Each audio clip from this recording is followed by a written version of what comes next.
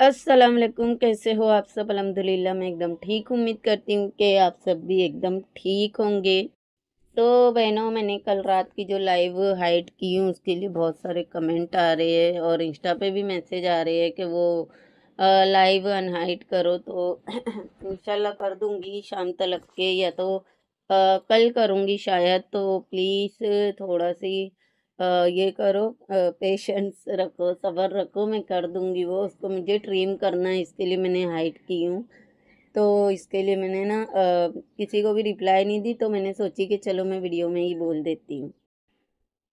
तो जी, सलमा ने एक कम्युनिटी डाली है, जिसके अंदर उसने लिखी है, सलाम कैसे है आप सब? एक दो दिन तक ब्लॉग अपलोड नहीं कर सकूँगी। मेरी मलाक की तबीयत सही नहीं है, आप सब दुआ कीजिएगा। तो इसके ऊपर लोगों ने जाके कमेंट किए हैं, उस कमेंट के ऊपर बात करें तो कोई ने इस तरह से बोला है, ये कमेंट आप लोग पढ़ लेना, मलाक ने जो इतनी ज़्यादा क्रीम खा ली, उस दिन उस वजह से तबीयत ख़राब हुई होगी।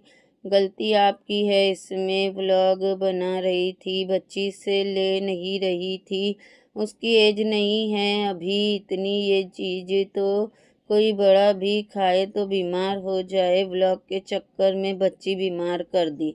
इस तरह से इनका एक कमेंट आया हुआ है और इसके अंदर फिर लोगों ने इनको रिप्लाई भी किया है। किसी ने बोला कि फेस क्रीम खाइए मतलब कि जो फेस पे लगाते हैं वो वाली क्रीम खाइए। तो किसी ने बोला कि डिज़र्ट में यूज़ होने वाली क्रीम खाइए मलाक ने।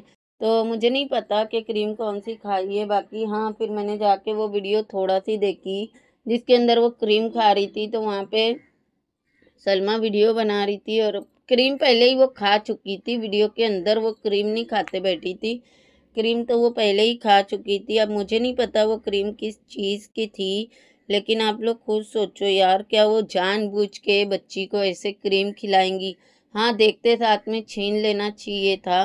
वीडियो बनाते सलमा वहाँ पे बैठी हुई थी, लेकिन हो सकता है कि क्रीम नुकसानदायक नहीं थी, तभी तो वो वीडियो बनाते बैठी थी। और अगर आप लोग वो वाला वीडियो देखोगे सलमा का तो उसके अंदर उसने बोली है कि मलाक की तबीयत दो दिन से ठीक नहीं है, पहले से ही उसकी तबीयत ख़राब है। उसने पहले ही बताई थी, ये क्रीम खाने से पहले की बात है कि मलाक की तबीयत पहले से ही ठीक नहीं है। तो उसने वो वीडियो में वो भी बताई है तो मुझे नहीं लगता कि क्रीम के वजह से उसकी तबीयत ख़राब हुई है। बाकी हाँ लोग कमेंट करके बहुत ज़्यादा ये कर रहे हैं कि वो क्रीम की वजह से तबीयत ख़राब हुई है तो क्रीम किस चीज़ की थी, मुझे डीपली नहीं पता है तो आप लोग मुझे ज़रूर कमेंट में बताना कि किस चीज़ की क्रीम थी वो। बाकी इसके अंदर वही मतलब ये जो कम्युनिटी लगी हुई है, इसके अंदर एक और कमेंट आया है जो कि इस तरह का है, ये देखो। ये मैडम ये मैडम बोल रही है बेगैरत। जरा माँ माँ जी को डॉक्टर के पास ले जा। इतने दिनों से उसकी तबीयत ख़राब है।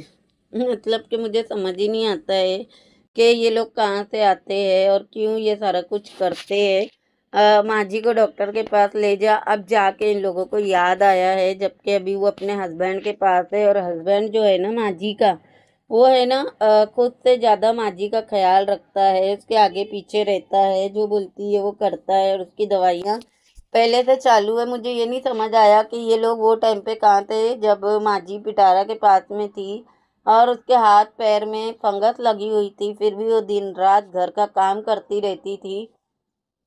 और एक कुर्सी के लिए वो बोल बोल के थक गई, लेकिन ये उसकी माँ आखिरकार चली गई सऊदी कुर्सी नहीं आई। कुर्सी का भाई, जब गोचू को खुद के लिए ज़रूरत पड़ी तो उसने दो कुर्सी एक्स्ट्रा लेकर आया।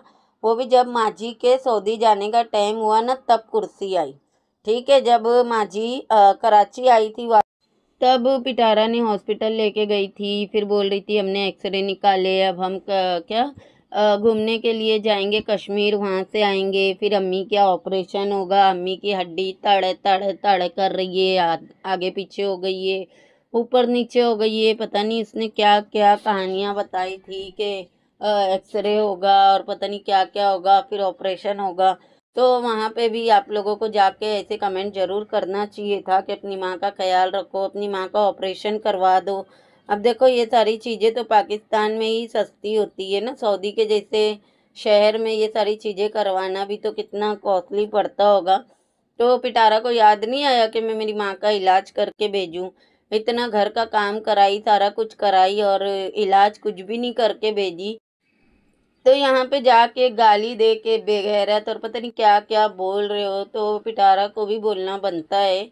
यहाँ पे गलती सिर्फ़ एक की नहीं है गलती दोनों की यहाँ पे है ना फिर। पहली बात तो मुझे नहीं समझ आती है कि उसकी गलती क्या है। उसने तो आ, देखे थे आप लोगों ने कि वो तो खुद ही आई थी यहाँ पे पाकिस्तान आई थी। तो यहाँ पे क्यों नहीं इलाज हुआ? अब सऊदी में तो कोई इलाज होता नहीं है। जो उनको शुगर की बीमारी है, जो पैरों में दर्द है, इसकी दवा तो चलते ही रहती है, हमेशा ही चलते रहती है। जब वो पाकिस्तान में थी, तभी भी सऊदी से ही दवा आ रही थी। तो ये अम्मा ने की क्या है? जो छोटी बेटी है, उसने क्या की है अम्मा के लिए? तो फ़र्ज़ तो छोटी बेटी का बनता था ना, कि पाकिस्तान आई हुई है तो मैं पूरा इलाज करवा के भेजूँ। बाकी इनके दिमागों को पता नहीं कौन से कीड़े खा गए हैं जो इस तरह की बातें करते हैं और इस तरह के कमेंट करते हैं। खैर, क्या ही बोले जिसकी जैसी सोच। बाकी वो टाइम पे अम्मा बहुत बुरी थी, जब पिटारा के इधर थी, बोलती थे ये चुगली करती है, ये ये करती, वो करती, इसको निकालो, इसको भगाओ। अब देखो, अम्मा अच्छी हो गई है, अम्मा का ख्याल रखने का भी इनके दिलों में, दिमागों में आ गया है कि अम्मा का इलाज करवाओ बेशरम, पता नहीं क्या क्या तो भाई फ़िक्र अगर इतनी थी ना तो पिटारा के इधर थी, तब भी करना चाहिए था। फ़िलहाल में तो वो अपनी पूरी फैमिली के साथ है और उसका हस्बैंड मेन साथ में है तो उसका हस्बैंड तो उसका इलाज करेगा ना, वो कुछ नहीं होने देगा तो फ़िक्र में तुम लोग ऊपर नहीं चले जाना, टपक नहीं जाना। दूसरी बात के ये अगर क्रीम ये थी, नुकसानदेह थी तो बिल्कुल सलमा को ध्यान रखना चाहिए था, बच्चों की पहुँच से दूर रखना चाहिए था। और अगर नुकसानदेह नहीं थी तो फिर कोई हर्ज नहीं था। पता नहीं है मुझे कि नुकसानदेह क्रीम थी कि नहीं थी। लेकिन इन सब चीज़ों से ना बच्चों की पहुँच से ये सब चीज़ें दूर रखो। और जो मलाको है, इसको तो आप लोगों को पता है कि उसको सब जने पसंद करते हैं, प्यार करते हैं। तो हो सकता है कि गुस्सा भी लोगों का थोड़ा बहुत निकल जाए, लेकिन माँ से ज़्यादा कोई बच्चों को ना प्यार करता है और ना ख्याल रख सकता है। वो पिटारा तो है नहीं ना कि पिटारा बेढंगी अपने में ही ये रहती है आ, क्या बोलते हैं मशरूफ़ रहती है अपनी अयाशियों में ही पूरी सूरी रहती है। उसको तो होश ही नहीं रहता है कि बच्चे कब उठे कब सोए कब खाए नहाए नहीं नहाए कहाँ गए कहाँ नहीं गए उसको कुछ नहीं पता होता। तो उस तरह की ये तो है नहीं। तो चलो कोई बात नहीं, खैर है, अब क्या ही कर सकते हैं। बाकी आप लोग भी दुआ करना और मेरी तरफ़ से भी बहुत सारी दुआ है। मलाकों के लिए कि अल्लाह उसको सेहत वाली लंबी ज़िंदगी दे और जो भी चीज़ की वजह से तबीयत ख़राब हुई है तो उसको आराम हो जाए। बाकी बाकी वीडियो नहीं डालने का रीज़न नहीं समझ में आया क्योंकि अकेली तो नहीं है ना? ये जो है, अकेली नहीं है। माशाल्लाह तीन तीन चार चार जवान जवान बच्चे हैं तो कोई भी ब्लॉग बना सकता था। और वीडियो डाल सकते थे। अब ये नहीं समझ आया कि वीडियो दो दिन नहीं डालूँगी, इसके पीछे क्या रीज़न है? तबीयत तो मुझे नहीं लगता है कि रीज़न हो सकती है, क्योंकि इतने जने हैं, बच्चे को संभालने वाले भी, वीडियो बनाने वाले भी। क्योंकि एक दिन पहले ही वीडियो में माशाल्लाह अच्छी खासी नज़र आ रही थी, दूसरे दिन ऐसे बोल देना कि तबीयत ख़राब है, इसके लिए वीडियो नहीं डाल रही तो सबके दिमाग में ऐसा आ जाता है ना। कि पता नहीं क्या हो गया? बहुत ज़्यादा तबीयत ख़राब है या क्या ऐसा हो गया कि वीडियो ही नहीं डाली जाएँगी? लोगों के दिमाग में पता है ना, सौ तरह के बातें आती है। तो बस वही था, बाकी अल्लाह खैर करे, बहुत सारी दुआएँ करना आप लोग भी बच्ची के लिए। और मैं इनको भी बोलना चाहूँगी कि थोड़ा सी बच्ची के ऊपर है ना ये किया करो, तवज्जो दिया करो, वैसे तो बहुत देती है, मुझे पता है, लेकिन इस तरह से मतलब वो चुलबुली थोड़ा मस्ती खोड़ भी है ना। तो जिस तरह से बता रही थी सलमा के, उसने फ्रिज में से क्रीम का डब्बा निकाल के और फिर वो सारा फैला दी और फिर खाई भी। और आप लोग खुद सोचो, अगर फेस क्रीम रहती तो ये बताती कि ये खा, मुझे नहीं समझ आया कि फेस क्रीम थी, कौन सी क्रीम थी, जो खुद ही बता रही है कि ये खाई भी है। तो अगर ऐसी कोई चीज़ है तो बच्चों से एकदम दूर रखो और वो तो बहुत ज़्यादा चुलबुली है। मुझे लगता है सब बच्चों में ये सबसे ज़्यादा चुलबुली मलाको है। तो इसके ऊपर तो ख़ास तवज्जो दे के, ख़ास ध्यान दे के, और इससे है ना, ये सब डेंजर चीज़ें हैं जो उसके लिए हानिकारक है, अच्छी नहीं है तो ये सब चीज़ों को दूर रखना चाहिए। ये सब मलाक को प्यार करने वालों की डिमांड है, उनकी ये है। रिक्वेस्ट ही बोल लो तो थोड़ा सी ध्यान देना चाहिए। बाकी आप लोगों को क्या लगा, आप लोग मुझे कमेंट में ज़रूर बताना और वीडियो कैसी लगी ये भी कमेंट में ज़रूर बताना। वीडियो पसंद आएँगी तो लाइक शेयर और सब्सक्राइब भी कर देना। मिलते हैं नेक्स्ट वीडियो में। अल्लाह हाफिज़।